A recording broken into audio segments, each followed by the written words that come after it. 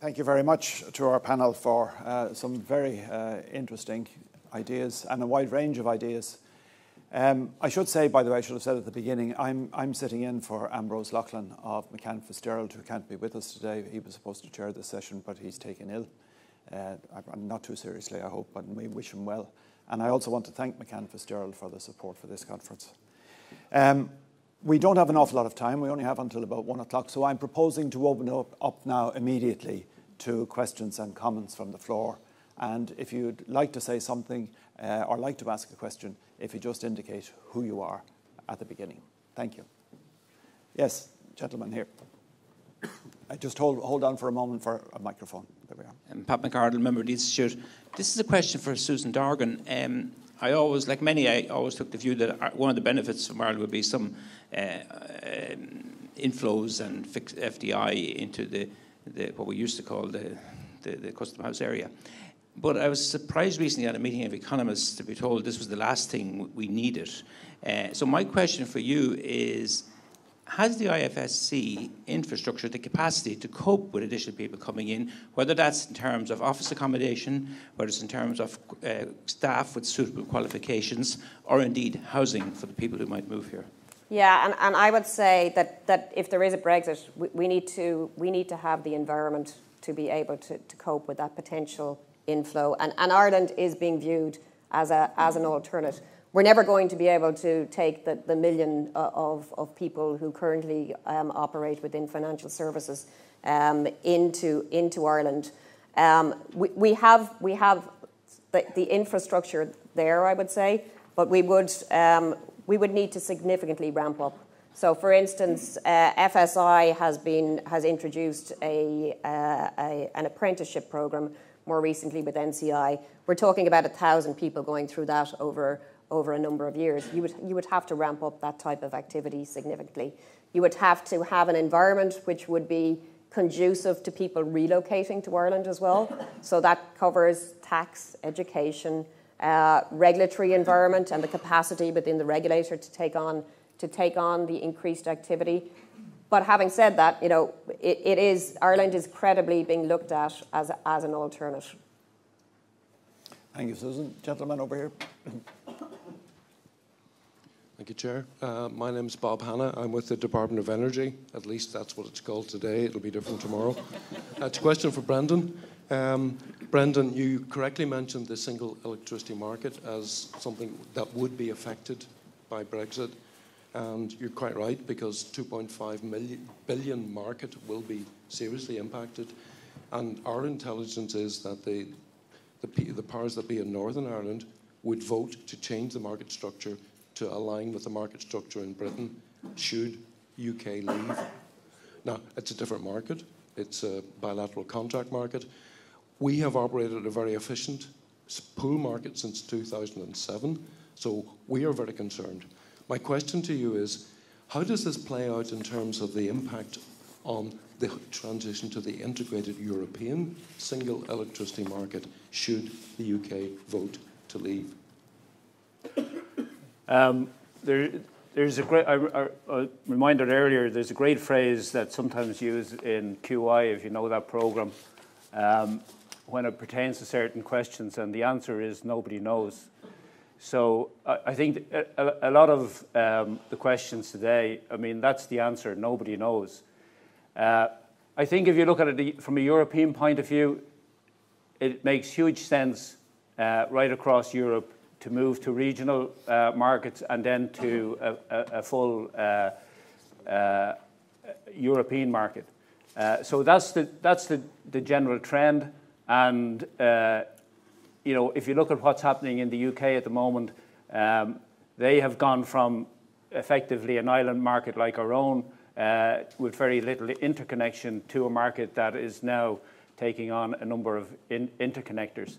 So security of supply, I think, is something that's fundamental to, to all markets because uh, no modern society today can, can, can work without uh, electricity and won't be able to in the future. So the, the devastation that is caused or that could be caused by any, uh, any break into the future in relation to that uh, is uh, you know, un, unparalleled by any, anything else other than war, in my opinion.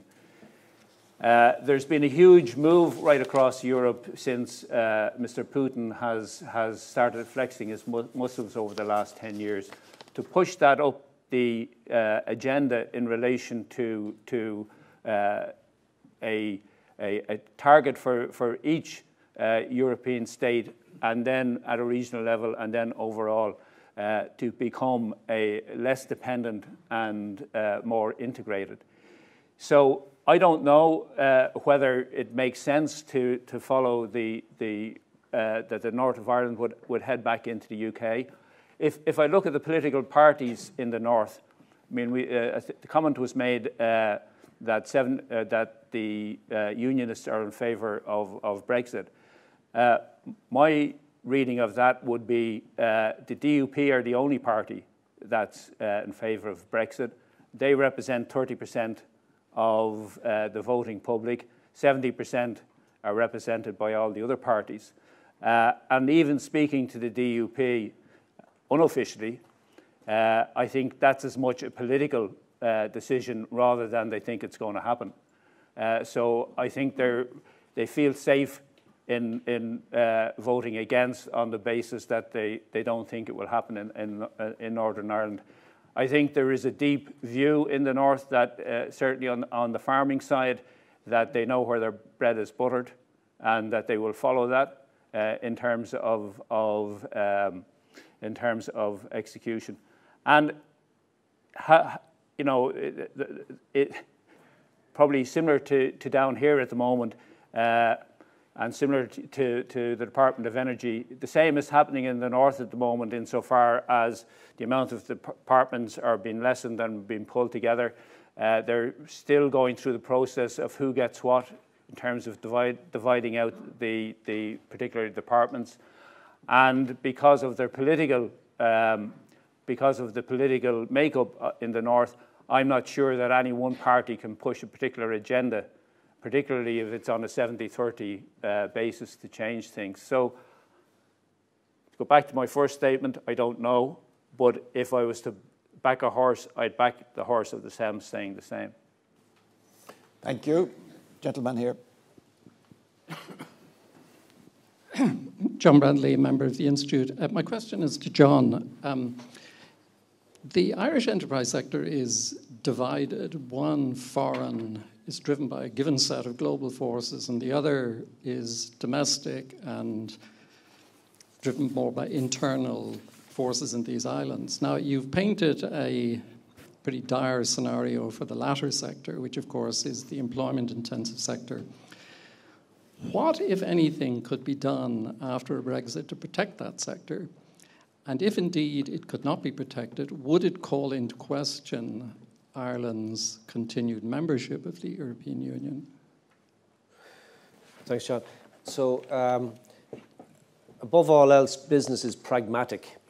It's not ideological or political or anything else. And already, some businesses are doing what you'd expect some businesses to do is to begin to say, well, what if there was an impediment of any nature in the free flowing trade that they have today? Bear in mind, the largest number of businesses on the island of Ireland today don't export at all. And that's often a statistic that's mentioned in regard to the um, hard to understand nature of what's going on in Britain today. 92% of British SMEs don't export at all. What we say is, but they know somebody who does. So nobody's Im- immunized from, from, from, from the importance of the trade corridor between the two islands.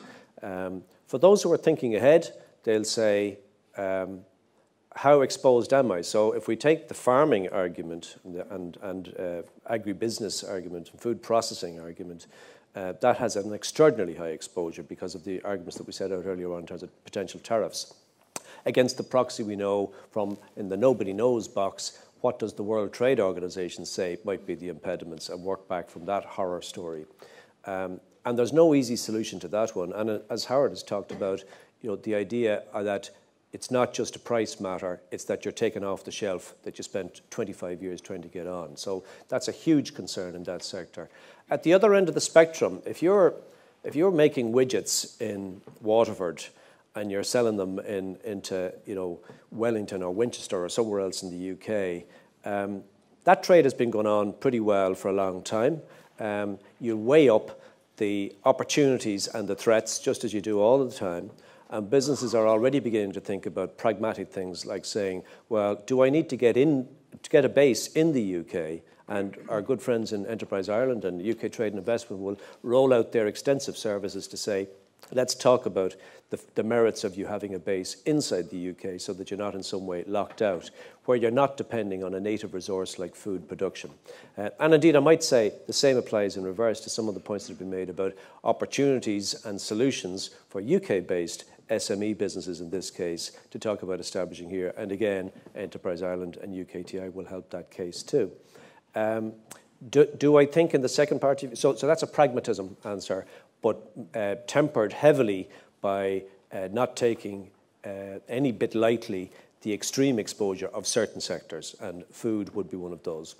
I might also say tourism is another pretty exposed one. I mean, the Dublin London air corridor is the second busiest in the world today, not just because of business, tour, business visitors, uh, second, second only to Hong Kong, Taipei, by the way, and booming, um, including with our friends from Ryanair and others.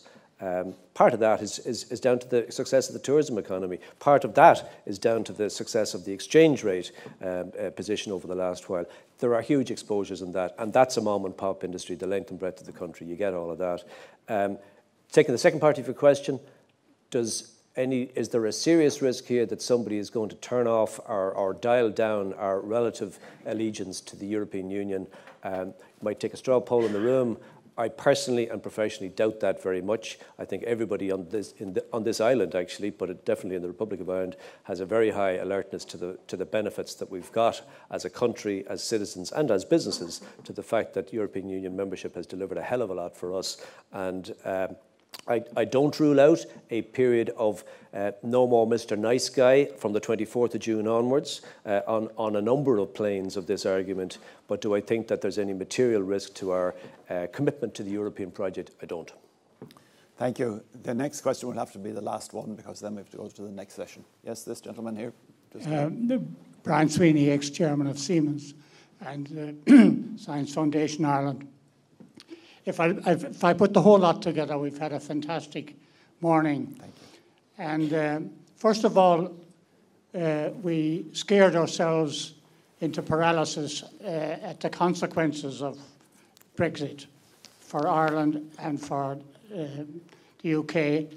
Uh, Brendan uh, showed us that to get out of the EU was enough to frighten anybody to stay into it, stay in there forever. But ultimately, this is going to be decided by the man in the street, the people who vote. And I feel I would have to conclude that there's a kind of a sense of inevitability that things are going to go against the people who want to stay in. And I feel there isn't enough oomph in driving the marketing process to convince the men in the street because the upper echelons to coin a phrase, are convinced maybe to a greater extent. But this is going to be decided on votes. And do you harness the chambers of commerce, all the different bodies, apart from the employers individually, to really get after the voters, the people who will put their votes in the boxes to decide this issue? Because it's not funny, it's a fundamental, huge decision for the economies of the countries concerned and indeed for the political in involvement.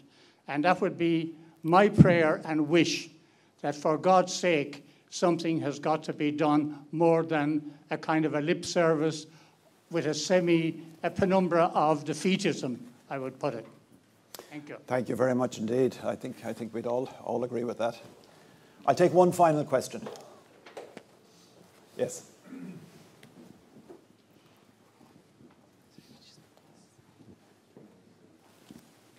Uh, Chairman Hugh Logue, a member of the Institute. And um, perhaps this last question is unfairly to you, Chairman.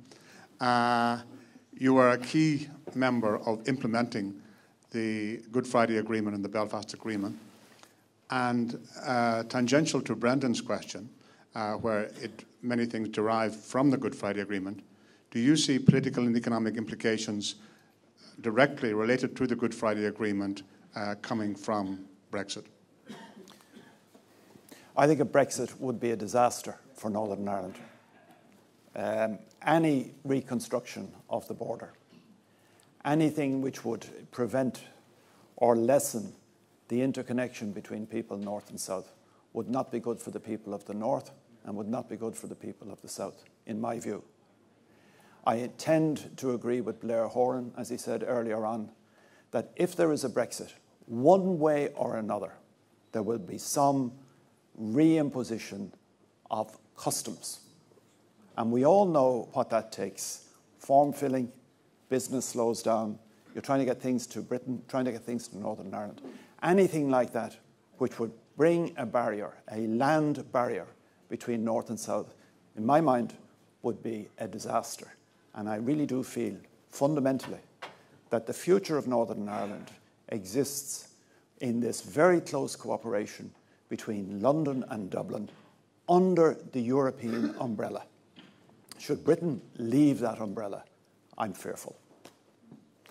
Can I ask you to thank our four speakers who have opened our minds up and led to a very stimulating discussion? Thank you.